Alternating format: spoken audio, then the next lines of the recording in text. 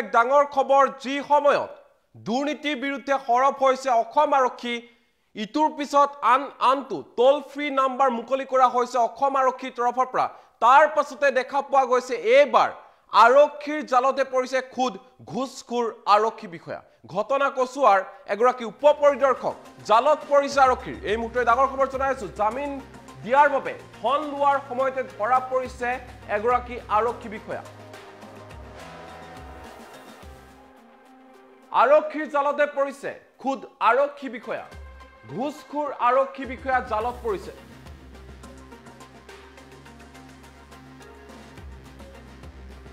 নগাঁৱৰ কচু আৰক্ষী থানাৰ পৰা গ্ৰেপ্তাৰ কৰা হৈছে। আৰক্ষীৰ উপ পৰিদৰ্শক অনুপ কটকী। অনুপ কটকী নামৰ ঘোচখোৰ আৰক্ষী বিষয়াগৰাকীক হাতে লোতে গ্ৰেপ্তাৰ কৰা হৈছে। কচুৱা আৰক্ষী থানাৰ উপ পৰিদৰ্শক হিচাপে কৰ্মৰত আছিল Anup Kataki.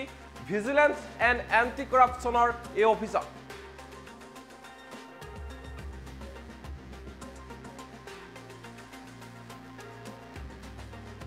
বৰবিল অঞ্চলৰ এগৰাকী মহিলাৰ গোচৰৰ জামিনৰ নামত ধন দাবী কৰাৰ অভিযোগ উত্থাপন হৈছিল এছ আই গৰাকীৰ বিৰুদ্ধে। আৰু তাৰ পাছতেই চলোৱা হৈছিল অভিযান। আৰু নিশা গুৱাহাটীৰ পৰা যোৱা ভিজিলেন্সৰ দলে হাতে লোতে গ্ৰেপ্তাৰ কৰিছে এছ আই অনুপ কটকী।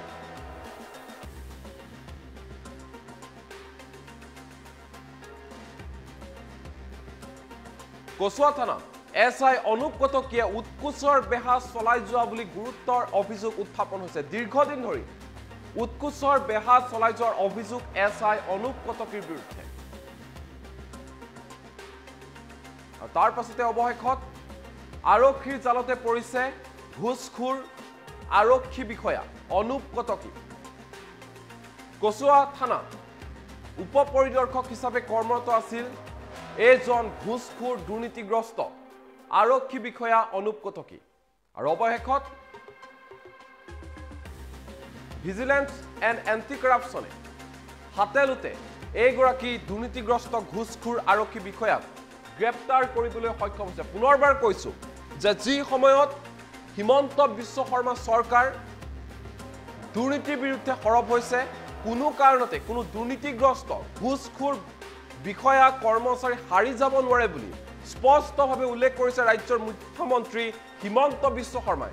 যি সময়ত অসম আৰক্ষীৰ সঞ্চালক প্ৰধান ভাস্কৰ জ্যোতি মহন্তই স্পষ্ট ৰূপত উল্লেখ কৰিছে যে দুৰ্নীতিৰ বিৰুদ্ধে অসম আৰক্ষী সদায় সৰব আৰু কেতিয়াও দুৰ্নীতি হ'ব নিদিয়ে। তাৰ পাছতে দেখা পোৱা গৈছে আৰক্ষীৰ জালতে পৰিছে খুদ আৰক্ষী বিষয়া। এইজন হৈছে এছ আই অনুপ কটকী যিগৰাকী এছ আই জামিন দিয়াৰ বাবদ। জামিনৰ বাবদ এগৰাকী মহিলাৰ পৰা উৎকোচ বিচাৰিছিল ঘোচ বিচাৰিছিল। তাৰ পাছতে এই অৱস্থা চাওক এইগৰাকী ঘোচখোৰ আৰক্ষী বিষয়া এছ আই অনুপ কটকী। হাতে লোতে গ্ৰেপ্তাৰ কৰা হৈছে এইগৰাকী দুৰ্নীতিগ্ৰস্ত আৰক্ষী বিষয়াক দীৰ্ঘদিন ধৰি এইগৰাকী আৰক্ষী বিষয়া অনুপ কটকীয়ে উৎকোচৰ বেহা চলাই যোৱাৰ অভিযোগ উত্থাপন হৈছিল। তাৰ পাছতে দেখা পোৱা গৈছে এইগৰাকী আৰক্ষী বিষয়াক অৱশেষত গ্ৰেপ্তাৰ কৰা হৈছে। গ্ৰেপ্তাৰ কৰিবলৈ সক্ষম হৈছে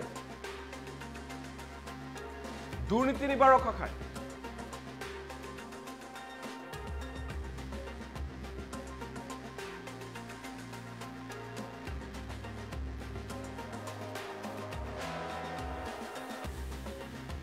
আৰু গুৱাহাটীৰ পৰা যোৱা ভিজিলেন্সৰ দলে হাতে লোতে গ্ৰেপ্তাৰ কৰিছে এইগৰাকী দুৰ্নীতিগ্ৰস্ত আৰক্ষী বিষয়া অনুপ কটকী।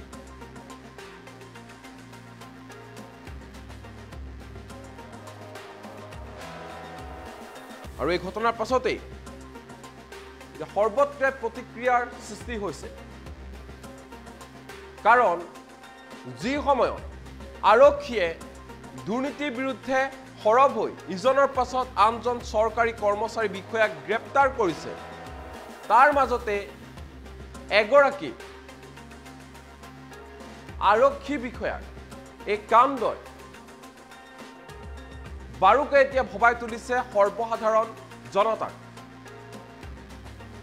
জনসাধাৰণৰ পক্ষত মাত মাতি থকা অসম আৰক্ষী। খুদ এগৰাকী আৰক্ষী বিষয়াই এনেদৰে ঘোচ লৈ উৎকোচ বিচাৰি জালত পৰিছে।